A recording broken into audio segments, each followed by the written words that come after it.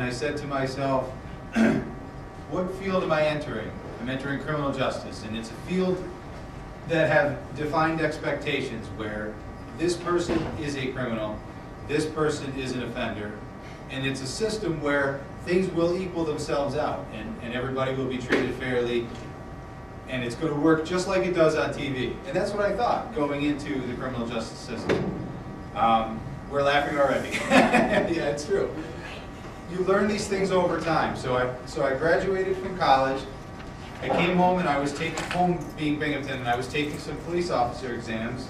And in the meantime, a position came up for a youth division aide at a maximum secure juvenile facility, which is in uh, Brooktondale, which for those of you familiar with the area is near Ithaca. And it's where juveniles are sent after they're convicted of crimes and they're held until they reach their 18th birthday. At that time, if they are a problem resident, they're sent to the Department of Corrections to finish out their sentence. If they are a good inmate or somebody who is worth keeping for a little bit, um, the state will hold on to them until they reach 21, then they're sent to the Department of Corrections. Um, I applied for the job thinking I would stay there for a little bit of time and continue taking police exams, and I was doing so. I got the job in 1996, and I started working right away after some training, and I was put on a unit that Eric had just been put on after coming from court. Um, and that's where I first met Eric Campbell. So altogether, I had my non-criminal life up to this point, and it's not as though I didn't do anything wrong. I hadn't been arrested or, or made major mistakes. I had my college education, and I had about five weeks of training at the New York State Division for Youth facility in, uh, I believe it's in Red Hook now, where they send you and they teach you how to interact with youths who are confrontational. They, they teach you how to handle uh, confrontational situations and they work through some of the problems that you're going to face as a YDA. And, and that's what I was. So I had all of that under my belt going into a new hostile environment. And that's when I met Eric Campbell, who had just come from being sentenced as a juvenile. And I'll let him uh, introduce himself. As everyone knows, Eric Campbell. At the age of 15, I was sentenced to seven years of life, seven second degree murder. Beforehand, I had a typical life in Brooklyn, New York, two-parent household. Not the average idea of someone who placed in a situation like that. One day everything changed. Uh, a friend of mine's named Orlando Flores. He came to me with a bright idea. He said, let's rob somebody. Now, when I tell the story, everybody's like, from the get, why did I go along? In the environment that I lived, I grew up out of the crack era. Um, crime was prevalent. It was big at the time. We grew up in an environment where we always argued who was the toughest or my block is the toughest. And being in that such environment, you of desensitized to a lot of things. So at that very moment when he said it, in my gut, I knew initially it was wrong. But my first error was not saying it. And I let the day progress. At that moment in my life, I had so much things going on. I was going to school, I had a basketball scholarship to uh, St. John's, AT&T a lot of things going on. Um, but a tragedy happened when my mother passed away. And I kind of secluded myself. And I didn't know how to say I was hurt, I didn't know how to say I was sad. So what I did in turn was place myself in environments where a lot of things could take place like such. And what happened was he left. And again he came back and he says, I got a gun. And again when I tell the story, everyone says, he said, a gun, why would you get it? I mean, growing up, I sold guns shop, sold guns personally. I mean, we went to the park and we sold in the car. So it wasn't something that was like, wow.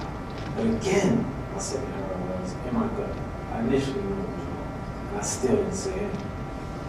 As the night progressed, we walked around, we walked around, and he's like, you know what? I robbed the beauty salon on the corner. And instead of saying, no, I'm not with it, I'm like, no, no, no, no, no. It's a two-way street people will see us. We avoided it. And again, instead of going to again with my gut, I'm trying everything else in the world to get against or go against what I want to go and drive. About an hour passed and we bumped into a guy named Kevin Francis. Um, he was an older guy. He was one of the guys that we competed with in basketball. And he speaks to my co-defendant on the side. And this is when the night actually progressed to the crime. As we walked towards the corner, I guess with all my excuses, uh, my co-defendant says, you know what, I'm gonna go in the store real quick. Um, just wait outside. Goes in the store, I'm waiting, waiting. See when I'm going in. As soon as I push the door, the first thing I hear is a person laying down. I look over, there's a gun at the guy at the cash register, there's another guy laying at the rice, surviving progress. I'm stuck. I say, Orlando, what you doing? He says, don't say my name. In that second, guy grabs the gun. It's a tussle. He looks over me, and he says, help me. And I really don't know what to do. But I take one step over this guy, and then boom, just like that, chaos. Everything goes black. I see nothing. I hit two shots. When I open my eyes, I see a guy with a bat. Now, the police reports, it's known that he hit me in the head with a bat. At that moment, I didn't feel no bat. It just went black. We ran out the store. I went home bleeding, gushing, and he's like, I think I killed him. And I'm like, yo, what happened? And it was so fast. It was like being in a room and someone shook it up. And wherever you land, you land. It was surreal. It was unreal. I couldn't believe how quickly the events changed. The next day, I go to school, I'm feeling completely awkward, not even myself. I past somebody, I'm like, they must know. Something deep down me kept saying, I didn't shoot. I'm innocent. I didn't, I didn't do it. He did it. So I should be feeling like, I'm all right, I'm all right. Well, then once time, Orlando Francis, Orlando Flores was arrested. And that's when I felt the ease, like, okay, they got him, the story's done, everything's cool. A week later, I was arrested. It happened when I was in school, I went to transit technique, so uh, inside of school, we have trains where they actually let you work. I was in the workshop working on the train, the A train, and I had uh, a camera. Look around, and the instructor's looking at me, like, looking at the officer, like, tell, because I don't to. I'm looking at him like, please don't say anything. He finally points. The officer draws a gun in class, which doesn't the right thing to do, but I was thrown out of court quickly. I my Walkman at the time, I got on the floor, and she's in my hand, she's like, "You're going fucking down, going down, you're gonna rape you, and kill you again. I'm like, "Damn, what's going on? And the moment I got out that classroom, everything changed. These guys in suits, don't worry about it, man, we got the shooter, we just gotta bring it out for question. Glad, you know, it's not a shooter, right? It wasn't me. They took me down to the precinct. They told me that Orlando Flores confessed to the crime. We just needed your night of the events. And then they put these paperwork in front of me. And I'm like, well, this and this really didn't happen. I mean, yeah, he did shoot the guy, but this part, they're like, don't worry about it. He already confessed, you have nothing to worry. The sign it so you go to Brookings and you, before I ever pick you up. So I need to have, where's the pen? Hands to me, put my John Hancock immediately. I never saw the streets until I was 28 years old again. That night I went to Central Booking, um, not knowing what was going to take place. We did the overall, take the pictures, put me from one cell to another cell, they put me in the wrong cell I was 15 years old, they put me in the adult cell until they found out. Which kind of wasn't a bad thing, because when they found out I was in juvenile, they put me in a cell by myself. Yeah, there was a lot of time, I think, a lot of confusion going on. I was around people who kind of get occupied with things around me. I spent that night awake, wondering when they're gonna come get me. Until morning, probably about nine-ish. When they say, oh, Campbell. Um, They cuff me, I'm like, okay, maybe this is procedure. And they take me into the courtroom, and it's kind of like this, you know, put my back facing. I look back and I see all these people, and I'm trying to look for family members, and I had the judge say, you know, basically this is how the courtroom sounds to me at the time. Blah, blah, blah, blah, blah, blah, blah, blah. Remand. Never heard that word before. I'm thinking remand. breeze like before, man. man. Maybe I'm going back home. Great. They put me in the saddle. Like, okay, maybe this is done there. Waiting for someone to come pick me up. Not at all.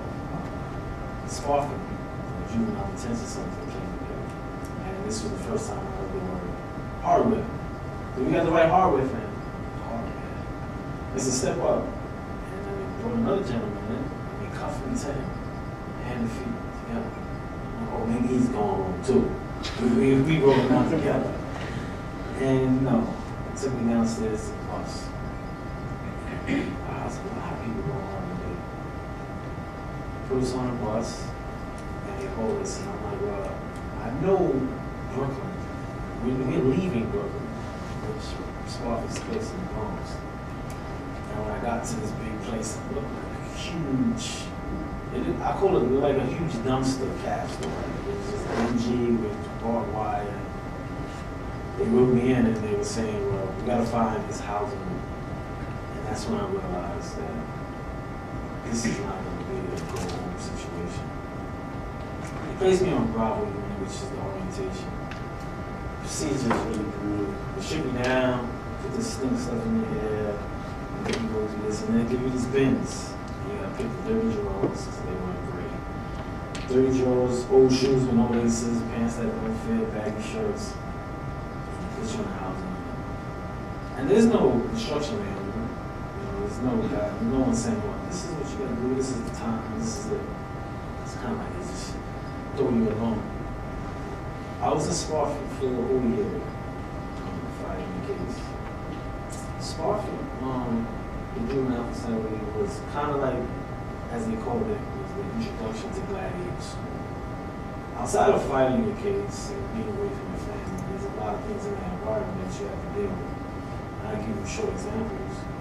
Officers there are supposed to do a head count. And um, the head count is usually through every doorway. First person starts on one, two, three, four, last man. 24 on the count. That way, you know, no one escape. Being a new guy, you have no clue of this. So you guys counting it, you just walk through the door. Officer automatically says, square up. And you see a circle form around you. And he's like, who's the oldest guy in the house? Now fight. You're not messing up my count on this block. And then fight. And you really don't get it. Like, it's like, whoa, what happened? Fighting. And if you don't fight, then you're gonna fight the next oldest guy in the house. These are some of the circumstances you face in Spofford Juvenile Facility. So I went through a year of that. You kind of learn quickly. After your first fight, you're like, okay, I'm paying attention a lot. Um, you, know, you don't sit close to the TVs. You're liable to get cut for that. But even sitting, certain seats you can't even sit at. But the most confusing part of the whole process was the call. Didn't really understand it, and it's not really explained. And what I showed a lot of law students, I even said this to the investigators, never take anything on assumption dealing with a client. Explain it again. Because if a person does not really know, you don't really know the questions to ask. And that was in my case. My lawyer, Steve Stone, was a friend of the family, so I trusted him. And I remember asking what's going to happen. And he used this word that kind of gave me a comfort zone. Said, I'm the professional. So I was there, I, I don't know what's going on in court. I went to court for a year, like I mentioned, oblivious to what was actually going on. It came up to around the time when they were picking jury. And jury selection was very difficult. People telling their stories, they ask a few questions. I mean, I heard people say, hey, you know, I'm gay, he's going to get anyway. He's going to say guilty. And then we have to pick among those. And I'm, I'm saying to my lawyer, I want that person. He's like, no, pick that person. I'm like, that person said they're really hard on crime. I really didn't get the, the math of the whole situation. Within three days of that, we started trial. And this is where the misconceptions of law got into my offered me seven to life. Now, seven life at the time, I mean, seven alone at 15 is life to. I was like, oh, I can't do seven. I mean, I did a year already, and that felt like forever. My lawyer says to me, well, we have a year in. You do one as a juvenile, you get transferred to an adult facility, you do one more, come home a good time. Two years. I just gotta do two more. It's cause if you go to trial, chances are it's not gonna be good. So I remember looking at my father in the courtroom and I was trying to talk to him. And he said, I'm, I'm gonna get a quick visit for you. And I asked my father, what should I do? He says, this is one decision that you have to make. I can tell you to take it, and you think you could have won by fighting. I can tell you to fight and you blow, and you really want to take it. He said, this is my situation and I'll support you whatever you do. So I got a brother, he's like, you dumb motherfucker. You better take it. Said, you want to do 15 years in prison that you didn't do on the street? And he didn't think. That's too many years. I got my lawyer, said, I'll take it. I'll take it. And as soon as I said I'll take it, I want to be like, no, no, no, take it back. Take it, it back. It's kind of hard making the decision. I really stuck with it. About a month later, I was sentenced. You know, the sentencing was very crucial because now I'm preparing myself to be away for two years. Going to court, kind of sick with the idea that I have that chance. So now I know for sure that I'm being away for two years.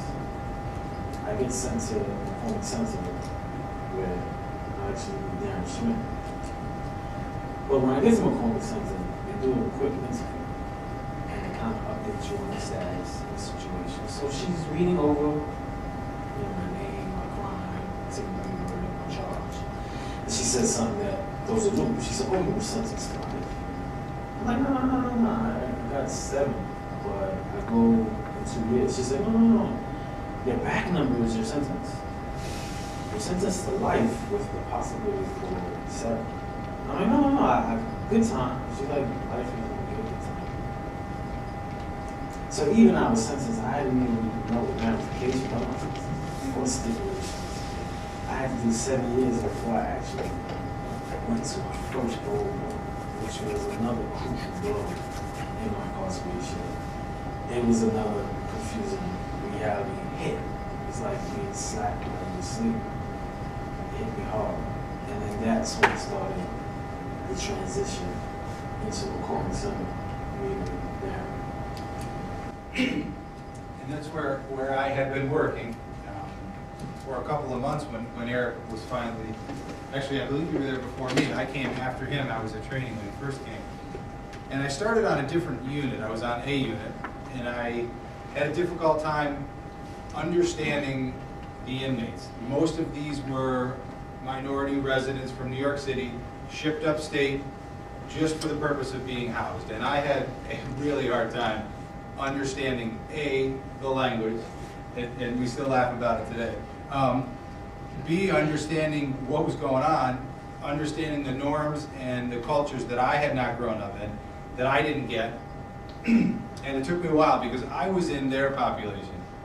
I was in their environment because despite being upstate, the residents of the unit could make it like their own little house, with their own little facility.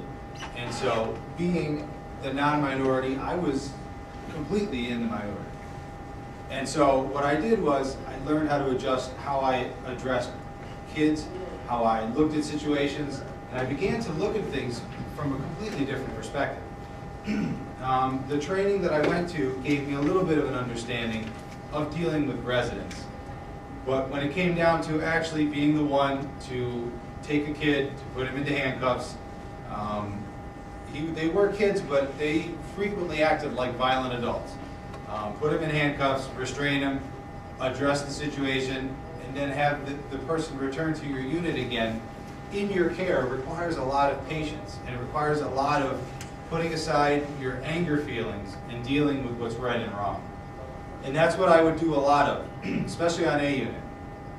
Um, there were frequent violent situations. Very few residents took serving a life sentence like Eric did. Most of them said, well, you know, F this, I'm serving five to life. So while I'm at this juvenile facility, I'm going to do whatever I can to disrupt and create problems and fight staff and be violent. Um, in fact, Eric was the only resident that I've ever come across in the criminal justice field that didn't become aggressive, didn't give up, didn't cash in his time and just say, you know what, I- I'm done, I'm gonna do the best I can, I'm gonna be a criminal in jail. So A unit was tough for me as a transition. Um, there were a lot of times when I questioned my own integrity, whether or not it would be easier for me to just let these things go, um, not follow the rules the way I'm supposed to as a staff, because if I've got thirteen juveniles and they all want to do something that I know is wrong, and there's no supervisor there to see me do it, I have to make the decision. Do I stand my ground and do what I know to be right? Or do I just allow it to happen because they're not going to turn me in? Because I'm letting them get away with something. And so frequently those situations, especially when you're paired up with another, paired up with another staff member, are difficult to deal with. And most of you want to head into the criminal justice field or in any field that you're going into. You will have times when you make ethical decisions about what is right and what isn't. You'll have times when you know the rules, but you have an easy opportunity to, to sidestep. In that situation, sidestepping the rules can be very dangerous. In police situations, they can be dangerous. Uh, so there was the majority of my initial conflict. Um, a supervisor noticed that I was having a hard time and sent me over to a different unit, to B unit, and that's where Eric had been. right away, after meeting Eric, I began to see that he was, in my eyes, different than other residents that I've met. Um, he had an understanding, A, of the world around him, but B, of his situation. Um, I, they paired us up as a mentor. They took a staff member and allowed him to mentor a resident. And, and he was chosen as my mentee. And I, and I think our relationship became solid there because you have a chance to go one-on-one and to talk to somebody. Um, in the craziness of trying to run a unit with 13 residents, you don't have the time to talk to people. You don't have the time, you're more worried about safety and security. when you actually have time to sit down and talk to somebody, you get to gain an understanding of where they are, of where they came from, um, of the things that brought them up to today. And actually, we talked very little about the crime. And I did that on purpose as a person who worked in a facility. All of the residents' folders were up front if you really wanted to go look at them, and you would see the crime. I never did that, and in fact, 10 years later, I had to ask Eric about the crime when we started doing this, um, because I knew very little about it. I knew what he was convicted of, but I knew very little details about the crime, and that was done on purpose because I felt like I would bring that down and treat each resident with the knowledge that I had. Maybe I would treat them differently, and I know that it benefited me. And, and the way I know that is because reading about Eric's crime on paper, you might say to yourself, this kid, you know, he did this, this, and that. He's as guilty, he deserves it, and that's it. But there are times when people plead to things with some limited knowledge and end up facing a sentence that will haunt them and that will weigh on them. So, I knew very little of his crime, I knew little of the other residents' crimes, but I began to see in Eric things that made me feel like I began to question some of the reasons why I got into the field. I said to myself, well, if a person's convicted and they're serving their sentence, how do you possibly have lingering doubts as to whether or not the sentence was fair? And I'm speaking of myself. I began to question whether or not this person needs to have a life sentence. Um, and that's not up to me to change, but it began my road down thinking of whether or not the sentences that people receive are equal to the crimes they commit. And I think that's important as you go on in your fields. You don't always have the ability to change the things that are written into law. If you get convicted of a robbery, you're going to get this sentence. If you get convicted of a kidnapping, you're going to get this sentence. And those are statute and they're criminal procedure law. But what you do have the ability to control is reading other people, jumping to conclusions, assuming that what you read on paper is exactly how a person is. And I still do it. I, am a probation officer. I still do it to this day, and, and I'm conscious of it. I'll get a new file on my desk as a new probation case that's come from court, and I say, oh, you know, I know exactly how this is gonna go. And I look at the rap sheet, I look at the criminal history, and I look at the report, and I say, yeah, this is gonna go this way. And then I meet the person, and I, and it's completely wrong, and I've had it all wrong, not all the time, luckily, but you have to be aware of these things. You have to be aware that people do change, that things on paper are not always how they are. So back to my life on McCormick on B Unit, Eric and I began our mentoring sessions, and his friend Roy would sit in sometimes because Roy looked up to Eric. And um, we began to work on the things, and I said, you know, this young man has a lot of potential. He understands what's going on, he understands the situation, and he seems to bring a lot to the table. Um, That being said, I left McCormick Center in 1999 because there was a better job offer, but frankly, because I was completely burnt out of that setting. Um, While Eric was helpful and a good resident to work with, there were 50 others that were not. And, and it is a violent situation, and it is a a tense situation, and it wears on you as a staff person. Um, So in 1999, I took a job as a probation officer, which allowed me to see things greater and see, a- have a wide aspect of the system. And I began to reflect on my time at McCormick and say, wow, you know, this is what I was thinking. I was looking at all these things and I'm looking more into the system and I'm beginning to see that, you know, it's tough to look at cases and pigeon them, pigeonhole them into life sentences. And that's really the gist of what got me reaching out to Eric and talking uh, to this situation.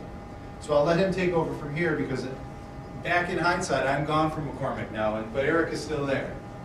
When I arrived at McCormick Center, it was more of a structured environment than Spofford, which was a tough transition. But to give you a brief understanding of the circumstances and the placement, you have 13 residents. My housing unit was predominantly lifers, so like I said, it was a lot of frustration. I mean, we dealing with puberty, life sentences being away from family members, one TV that only has four channels, two toilets, two showers, and nothing. So it was an easy conflict environment. Between fighting for chairs, being rebellious, rebellious with lockdowns, not wanting lockdown, fighting with staff, arguing. These were things that were common. A card game couldn't go without fight. So on top of dealing with the stressful thoughts of being to prison, appearing to prison, we have to get into that. I was in McCormick Center from age 16 to 21. Uh, he said they had the mentoring sessions, which were kind of useful. It kind of broke the barriers because at the same time as he was sick with a lot of his ideas, we were too. Being an inmate or wasn't at the time, he's on the outside. So to break those barriers with the counseling sessions, actually let both of us grow individually and let us actually expose who we are outside of his uniform, our rap. McCormick had a lot of different programs, victim awareness. While there, I tried to soak up everything I possibly could. Keep busy. Became a teacher's aide in reading, um, did the cooking, the mess hall, did multiple different things while there. It was very limited, um, which for a juvenile facility with youthful, with youth period, they're in a stage of uh, adapting, learning who they are and adjusting. We weren't allowed to see the rules. We were reading materials were scanned. We weren't really allowed to read a lot of things. Newspaper contraband. We were really restricted, which also caused a big rebellious. Everything was seen as a gang member or gang activity, like he joked about a lot of the language. And it was a lot of front office sending back then. The way they tie their shoelaces, it's gang. The way they. So a lot of things were reflected wrong caused a big communication barrier, which a lot of us how to explain ourselves, but we did lash out. As I said, I was there till I was 21. When you turn 21, they send you to, they say, the big leagues, which is DOC, Department of Corrections. Throughout my time in DFY, you figure out, like, I guess I got how to bid. Then, So I'll be good when I transfer over. when they transfer me over, they send me to Dannemora, which is uh, Clinton Correctional Facility. That was my first place placement facility. I was 21 years old. I, I'm a midget now, so you can imagine me at 21 walking into a place fresh out of a juvenile facility. And despite my age, the juvenile facility kind of limits you in with your activities and growth, period. So I still was about 17, 18 at 21 because of my environment. Within my first two days of being in uh, Clinton Correctional Facility, I was. Uh, I went to the uh, yard um, and told everybody, get off the block, go to rec. Okay, I went to rec and I didn't know that everybody had their own place in the yard. And I go there and I stand in one little spot his lines. My guy comes to me and he says, Yo, chief, you can't really be there right now. Boys gonna come. You gotta go. Cool. He was cool about it. Went to another one and the guy's like, we're gonna cook in a little while, so you gotta go. I said, you know I'm gonna wait till everybody get here. And whichever one is empty, I'm gonna go. I wait, see one spot empty. I go. And a guy who later I find out his name is Speedy, he comes to me and he says, Bobby, you know, you can't stand it. And if why you deal with everything competition. You have to take a stand.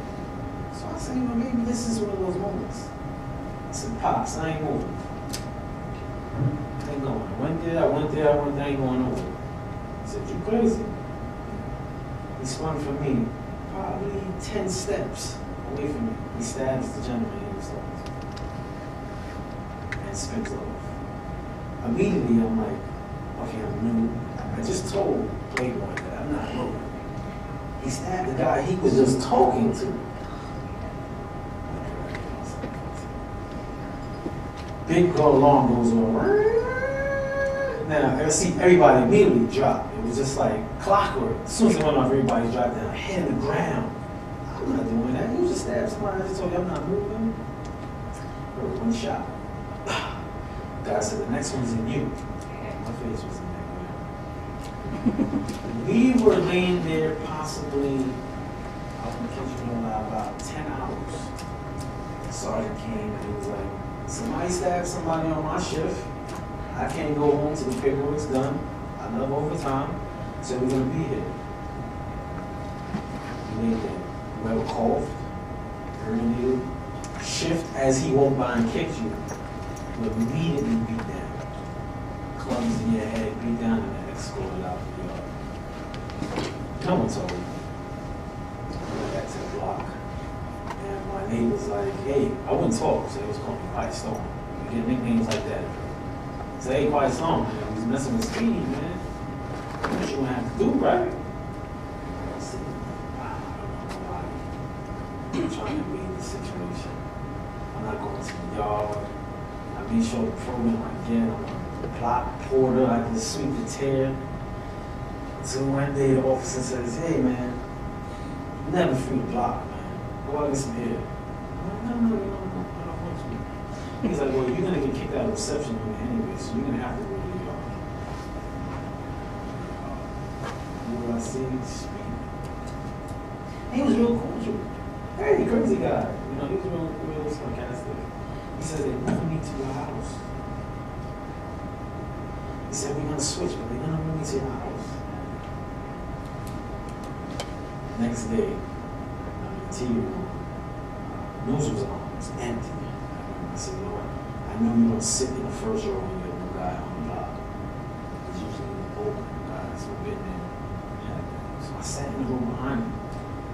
And a gentleman comes. It's probably 20 seats. He says, you're, you're, in my seat. I said, yeah. I said, you know what? I'm not even going to be competition. I mean, he's got a scratch over that. I said, you know what? I'm sitting back. I said, no problem. I sat in the back. Immediately after I sat in the back, the TV room was packed. They changed it. They changed the rooms. They were watching BT. They scanning around. And it was count time. And now looking back, I see the whole the whole lineup. Then I didn't. They bum rush the door. Everybody's bum rushing the door. And as I go to get online, I see stars. And did somebody punch me? And I look at my home, and there's a knife in my home. Sad. And the port at the time, his name was Muhammad. He quickly took off his shirt, it on my shirt, shirt with my arm, and he says to me, just walk to the. And I'm like, I was stabbed. He was like, yeah, what? He said, don't take it out. Stand in the cell with your arm in the sink. I mean, this guy had knocked out. This wasn't something that was new, new for me. He said, just stick your arm in. So I get in the cell and I'm like, nah, pull it out.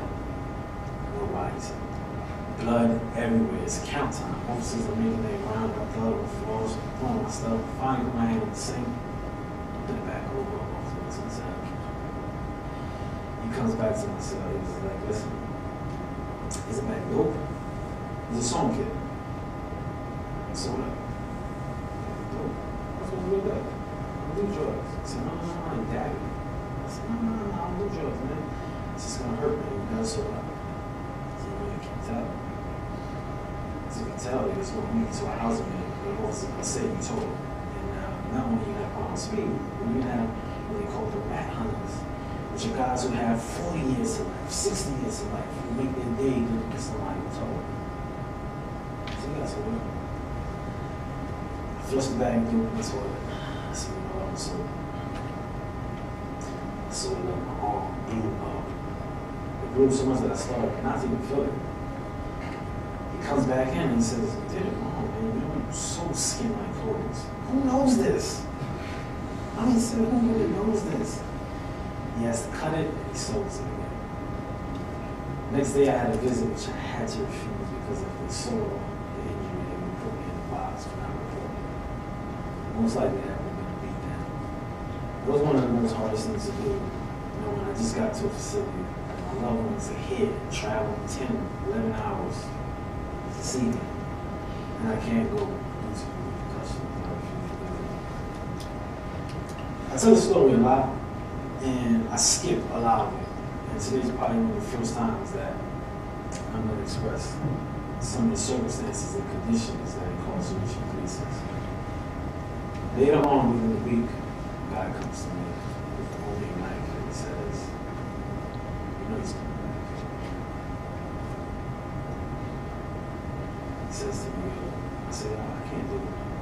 I can't, I can't do it. Suppose he dies. And I remember the guy, Michael Graham, his name is, and he said, Do you want to live? Or do you want to die? He said, Yo, I would rather have him die and fight him in court than my loved ones wanting me. And I was like, oh, I can't do it. He said, Man, it's up to you. I'm giving you a heads up. He's coming back. Within a week's time, they set it up that I will be in an area with him. I said to myself.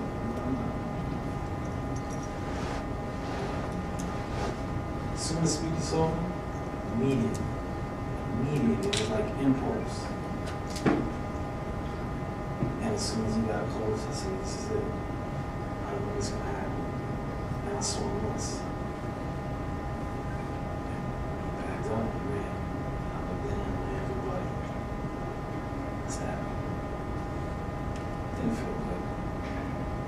I mean, even though I evaded that situation, it wasn't something that I was happy about. And In circumstances, those are some of the things that blessed. After that, my bed was not easy, but I wasn't quite strong. And it's sad that those are some of the things that makes your transition much better. So now I get transferred out of, I get transferred out of Dannemora, I'm sent to Altona.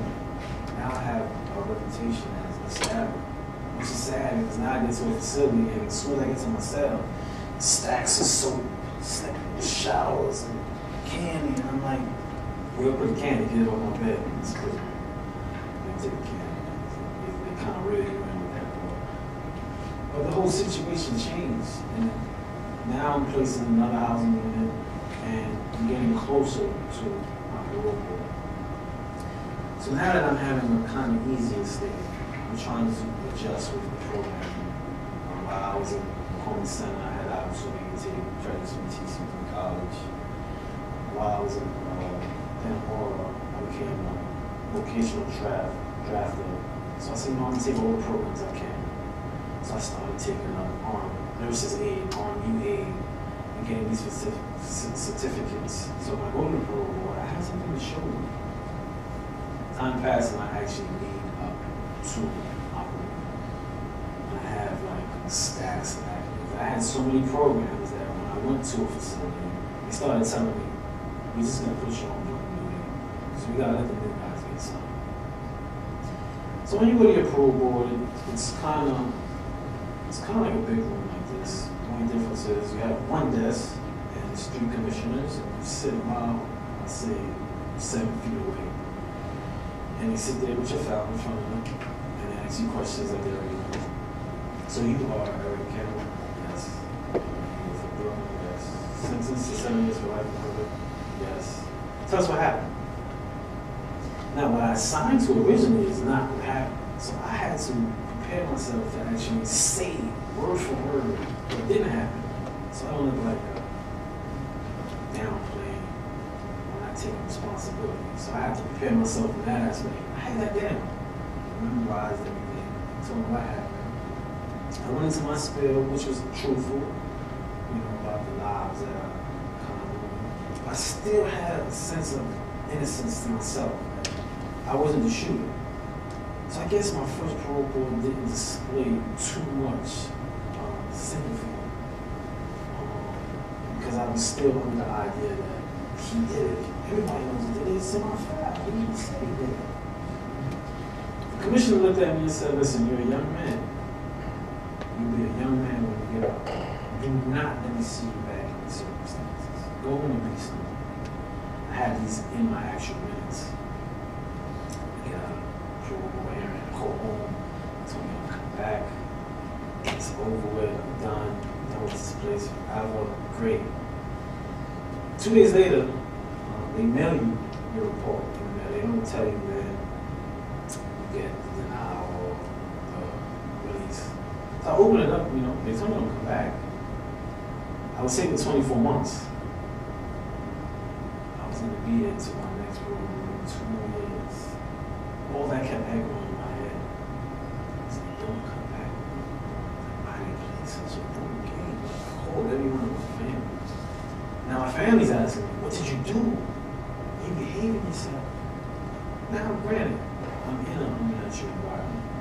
It's hostile environment. It's a lot of different things that take place there. But I'm not doing anything to add to it. I'm just surviving. And at that time, everything that ever took place wasn't my file. So I had a clean record. Disciplinary like, I don't know. I don't know. That made the situation even more strenuous. That this third smack while you're sleeping in reality. I had two years to deal with it. Within that time, frustration, riots took place. Uh, there was a big hostile uh, environment out during the time. Every day there was lockdown for the riots. I was placed in a box. Think about riots, which reason why I was placed in a box. If you two gentlemen start fighting, officers pull their pin, and it's assistance needed in this area. Location. When they come in, they do not care who they see first. It's attack. So everyone in the room, once there's a fight, so once they come to the door, everybody's ready to fight. And that's what occurred. Uh, it's about 57 guys um, in the environment, yard at the time the riot. Once in a box for three months. Because when they came, they just saw you. They hit you, you're part of the report. So I was in the box right after my report, still be good for my next one. The transition out of the box, being in the box for the first time, it's not like in the, the movies, it's big brick walls and ice rolling across, which they do have ice. But the cell is all steel. Um, that one hour rec thing, your rec is in the cell.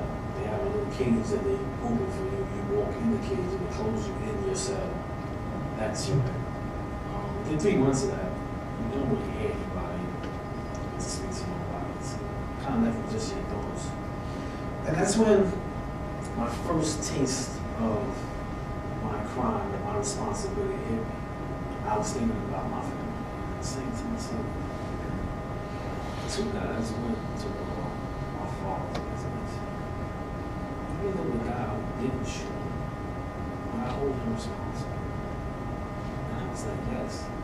And that was my taste of my reality. Like, wow, I did have responsibility from the get. I knew it wasn't right. I felt it. And I went against it. I'm just as wrong. That moment in the box gave me a whole different outlook of my me, situation. So when it led me up to my second board, the problem with that was I was so far in a facility called Franklin. Commissioners wouldn't even come. So they had us on TV. And it was via satellite, which made it difficult. It was like terrible kung fu film. Eric Campbell.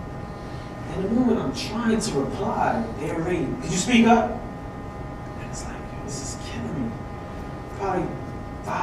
10 in Congress is like, we'll give you a decision.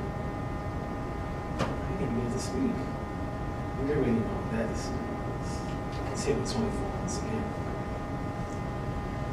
That changed everything again because I was moved once more. Now, when you first get into DOC, they kind of shoot you way up top. And as the years go by, they transfer you down to facilities. So they bring the newer guys up. They transfer problem with that is, a lot of times in uh, detention, you have all these conflicts. Everybody's just learning how to do their bid. And then you're shipped up. Then there comes a time when you're bid ready guys. Some people are forgetful, some people mature. And sometimes it's the same in prison. You have to think before God. And that means where you are in life, say for instance, where I was, I really got the waking out of bed. My comfort levels went down. I was really cool. I knew what I wanted to do to try to get out. A lot of guys were. So now I was dealt with the conflict of thinking for other guys. I know he wants to fight. So now I gotta invade him properly. You don't wanna say no, I wanna fight. And now that's a whole nother conflict. You have to be wise about it. So dealing with being here at the parole board, here I am in a facility with when we first started in 1995. This 2000 five now, and I'm in the facility with 10 guys that we fought years ago. Some of them came to me, like, five months ago. I'm trying to go home. Some guys are not scared guys. I'm like, fuck, let me see you in the mess hall. It's on. Some guys didn't know where I was. Some guys were like, listen, send one. It's cool. I don't have problems. That still was a conflict, I don't know if he's roping me for a joke or not. That went on and on, and I still try to involve myself with different programs and different things like that. This parole which in my first two, I was trying to work on my parole package. And in my first parole package, I had letters like Darren Schmidt wrote letters to me. I had a few letters. But this one I said, you know, I want to have a street game plan that I could present to you. Because I could see my file. Trying to compete with my file is difficult. You have parole commissioners that go to a facility, see 300 guys, but have to go to 20 facilities. How can, you know, being sincere sound truthful? They hear it all day. Oh, I'm remorseful, I feel sorry for the guy, I feel sorry for the robbery, oh, I would change my I wouldn't do it over. How do you compare with that? You'll say, you know what? My release game plan got tight. I have to show them that I have a support. So I got to show them that I have an idea of what I do. And again, on my third parole, Darren Smith and many others wrote letters for me to my people and show me that, you know, I do have a support. And they do get to know. I had letters of employment. I had schools saying that they were going to take me in and help me. I had so much stuff going. My family moved to Florida. And then my second parole board crooked that my home placement would be better. Trying not to go back to the place where the crime took place. But having a whole new start. So we thought that would be better, which it wasn't. Because New York was saying, oh, they went to Florida. We're not going to transfer you. You have to go to New York. So now my support base was kind of scattered. Because now my family's in Florida, and I'm like, wow, where am I going to find a place in New York? I don't want to shelter. Which, ironically, my fourth grade teacher, Patricia Rose, who kept in contact since fourth grade through my, throughout my whole incarceration, said, what are you talking about? Like God, So I was like, boom, my package is coming together perfectly. I have the job, I have a place to go, I have letters. I came up to my third parole. I'm like, this has to be it. I'm trying to charm you. You try to make sense out of situations. Um, within that time, I had the law students and a professor named Laura Coleman from Rutgers University helping my case. I was doing a lot of appeals for my parole boards, which get denied or they go after a while. The time my, case is being heard, I'm going to the parole board anyway. But it gave me something to fight for. So she also was helping. She said, this time, just in case, let's get all the, the appeals and Article 78s ready now. Said, cool, but I kind of feel positive about this one. I went into the parole board and I said, this time I'm going to speak. I'm going to speak. I'm going to speak more than yes, no, yes, no. Which I see my minutes. Because when you read the minutes, it's like, man, you didn't say anything. It is kind of difficult to explain. I go in, the first commissioner, her name is Garcia, was there for my first parole. And I was like, yeah, she's gonna get words out of me today. So she said, Eric Campbell, I went to my school, yes. I was convicted for a terrible crime. You know, I heard a lot of lies, not only my life, my family's life. I changed lives forever. I I even feel your life. You brought me sick again. And you know, I went in and she let me speak. She said something that changed the whole thing. She said, compared to a life, do you think your freedom's worth it? How do you answer that? Yeah.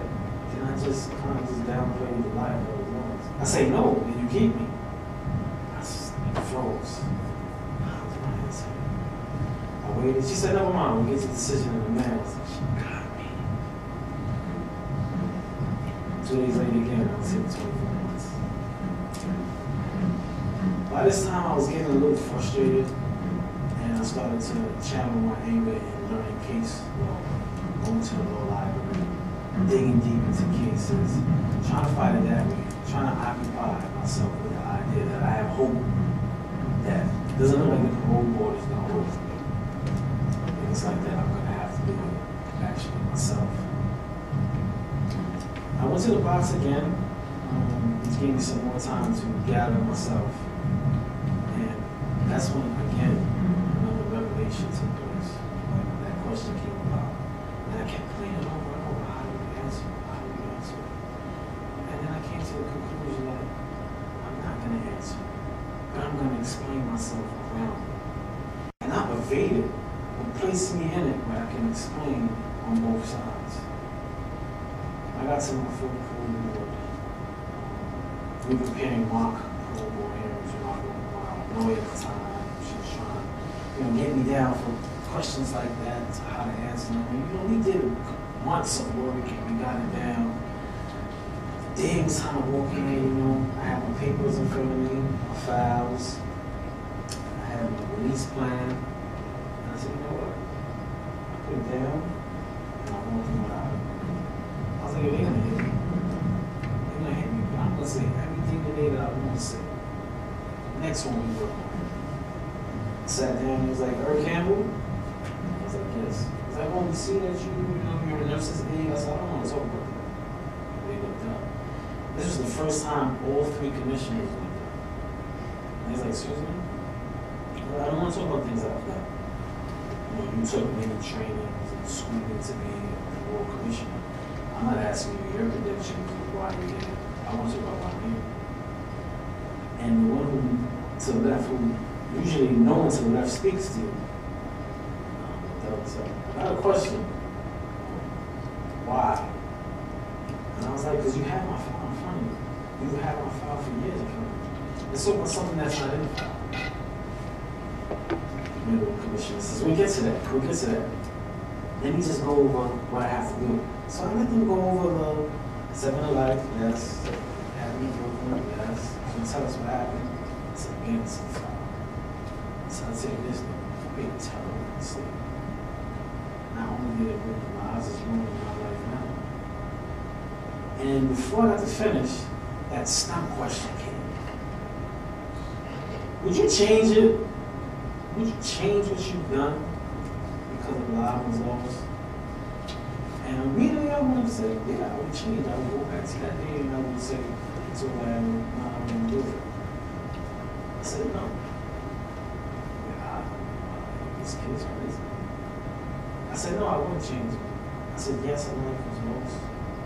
Lives were hurt. And nothing, there's nothing that can compare to. There's nothing I can do to make that better. But what I've learned, what I've learned to appreciate in life, who I am today, the way I look at things, I'm confident. I'm a better person now. I don't know if the trials and my journey that led me to this point, who I would have been before. But I know who I am today and who I am. I'm sorry that life. I'm sorry that even though my hand wasn't on the trigger, by not going with I knew it was wrong. I basically pulled the trigger myself. I understand. Can I change that? No. All I can do is change it. I did then and now.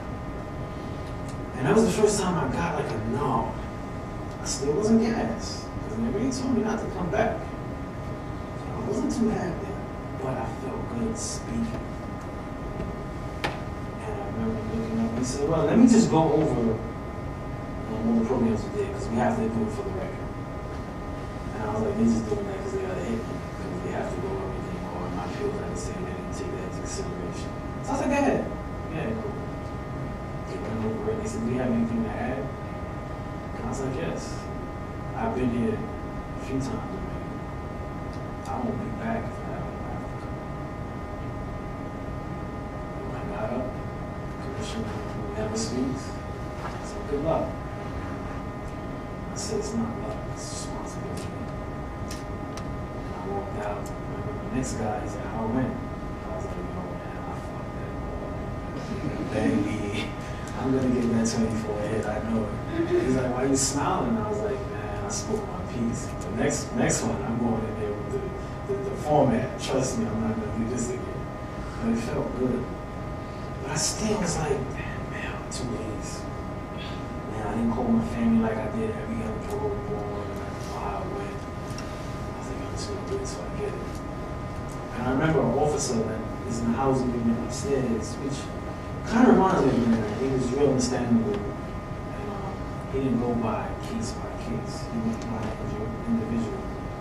He calls me, he says, go to 1412. Now, 1412 building is a building that they sign you up for pre-release. Now, he already had got the decisions of who in jail was getting released. So he was trying to give me the heads up. That's not a game we play. I know you cool and you. So I'm going 14 Just go 14 And I remember walking 14 because I didn't get the letter yet. And I was like, man, this is not true. Man. I don't know what I'm going to do. So I went to 1412. I was like, "Better Campbell? I said, hold on. Did you get the letter yet? I was like, no, I, I didn't. He said, hold on a second. Okay, just sign here. I was like, You know what? Last time I signed something, man, I ain't care, man, it didn't look good. I'm gonna wait till I get the letter, man. I waited the next day, and they called me down to the little library. They called everybody down. And usually, you know, you see guys get the letter, they rip it off, shh. Oh, man,